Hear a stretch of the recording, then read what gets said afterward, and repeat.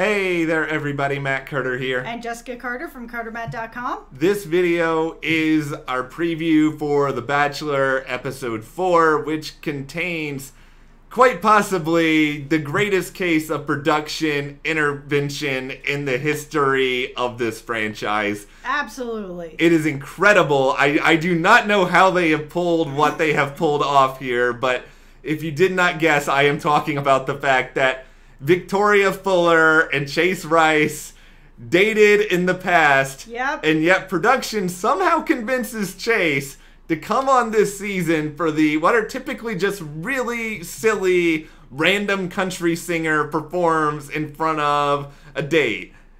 And here we are. It's really strange. I don't know why he would bother to agree to do this. And more so, I'm very curious to see how it's all really going to be handled because this could be handled quite easily in that Victoria walks in, sees her ex up there, turns to Peter and says, that's my ex up there. I don't know what's going on in this date. Do you know that? And he'll be like, No, I didn't know that. Know that. And she could be like, Great, can we go do something else? Yeah, sure. We're gonna get into all of this. Before we do, if you like this video, give us a like, subscribe, and hit that notification bell so you don't miss any other updates. I just gotta know, I think first and foremost, like, what is I, I wanna know what I wish I knew the order of events. Like, let's put it that way. Like I'm sure when you ask people and you do like a questionnaire preseason, I'm sure they ask Victoria, what is your dating history? Probably. I'm sure was a show like The Bachelor or The Bachelorette, that's got to be one of the first questions. Yeah. Do you Or have you dated anyone famous? Yeah. I'm sure that's on there. Yeah. She had to have tell, told someone, whether it was in casting, whether it was a producer. And then I just wonder then like how when do they go to Chase Rice then? And does I guess Chase I don't I'm assuming Chase probably did not know Victoria was a contestant. That's my feeling right now. That's the only way that I can possibly think that he would agree to do it unless they ended on some sort of not that bad terms. Yeah. And he thought yeah, I would gladly do this for her because there are exes that don't hate each other, and that maybe he was like, yeah, I'd like to be able to do something like this for her and play for her and someone else. And maybe they're not, it's not so contentious. And I just, I then just, of course, wonder does Peter then know? Did they tell Peter any of this? I'm guessing not. No. They just threw poor Peter to the wolves on all of this.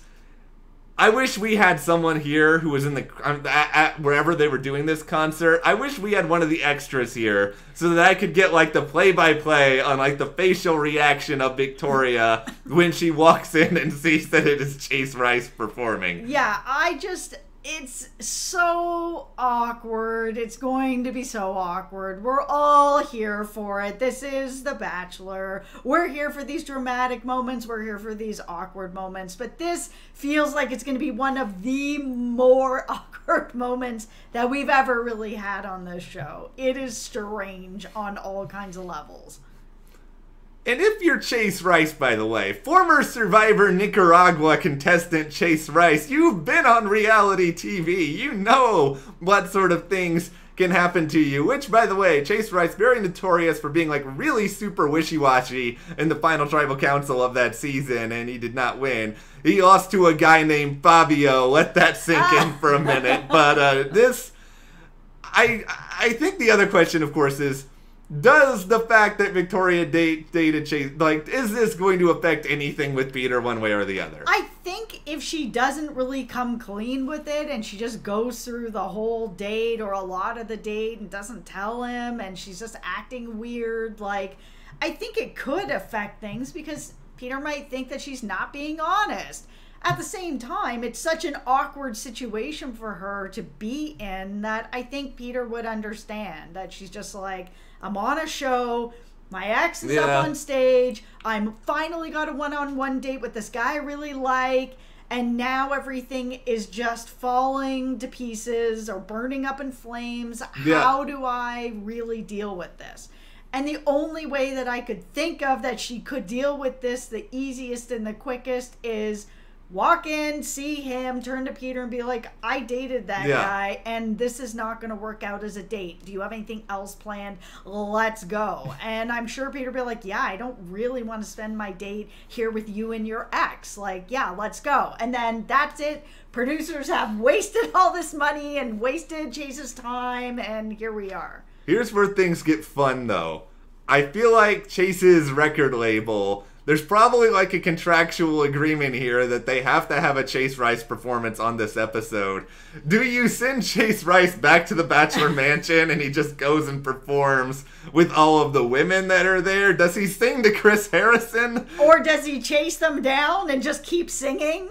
That that actually feels like it's like a recurring Hannah B nightmare where Jed is just chasing her like singing his dog food jingle. But no, like I I, I really hope that uh, Chase has a long stiff drink after this episode after what he's gonna be put through. Well, I hope all three of them have that. What I'm really hoping is that they can all kind of, at the end of it, have a Yeah. bit of a laugh at their own expense. That, you Yeah. know, you're on The Bachelor, of course they're going to do stuff like this to you. And yeah, well, at first it's going to be kind of strange and weird and Yeah. awkward or whatever.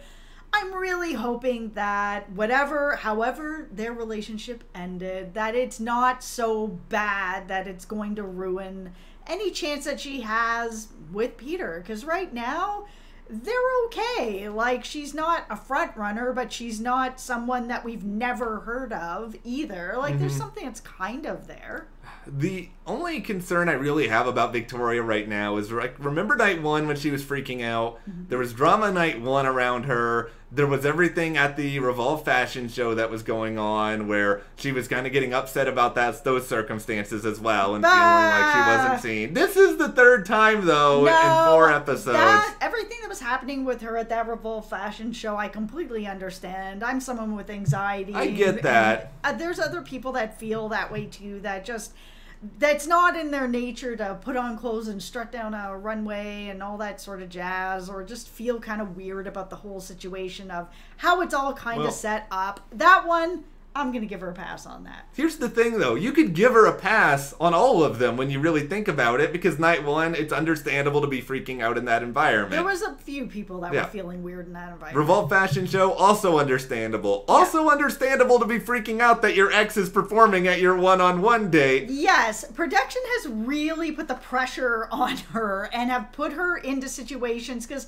I'm sure that this is also asked on No. whatever contract or Yeah. whatever questionnaire they're giving. I'm sure they're asking her, What are some of your fears?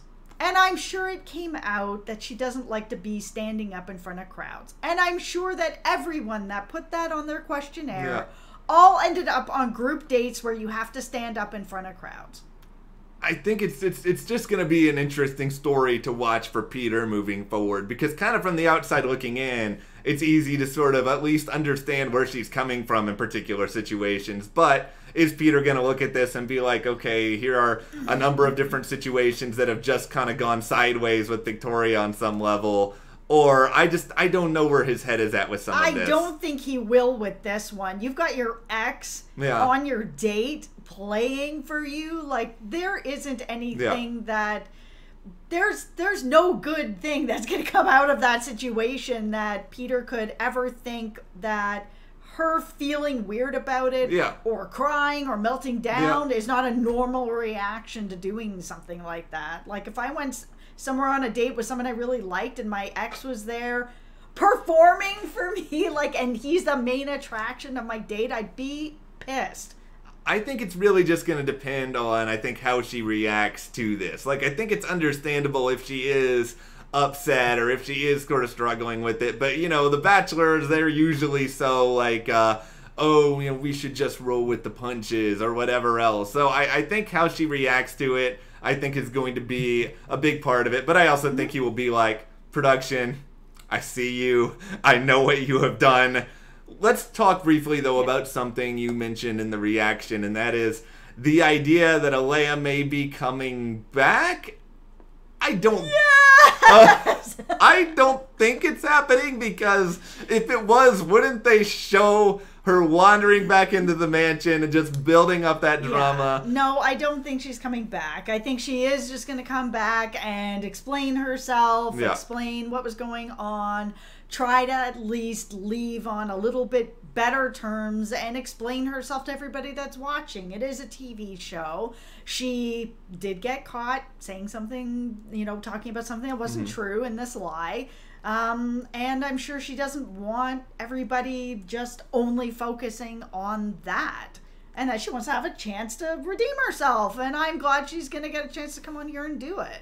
Not everybody gets that chance. There's lots of people that leave reality shows and you just you get a bad edit Yeah. or you say you say something that you don't mean or you do something you don't mean you never get a chance to walk that back this is an opportunity i'm glad she's getting a chance to take it Well, I think regardless of whether or not she's back in the competition, you know, we are going to hear from her on the Women Tell All. So Yep. she will be able to have her voice heard.